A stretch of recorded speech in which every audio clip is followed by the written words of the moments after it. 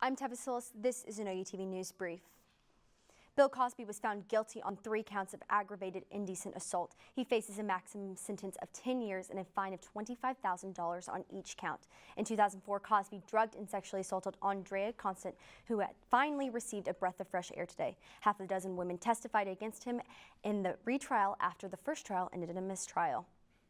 Following other states, Arizona and Colorado teachers are rallying at their state capitals today for better pay and learning conditions for students. Teachers in Arizona dressed in red to walk to the Capitol, while to Colorado, they are not expecting immediate change, but they are demanding for a start. Tonight, Norman will be rocking for the 11th year. Downtown will transform as bands across the United States take the stage at the Norman Music Festival. This free three-day event will run through the weekend into the early hours of Sunday morning.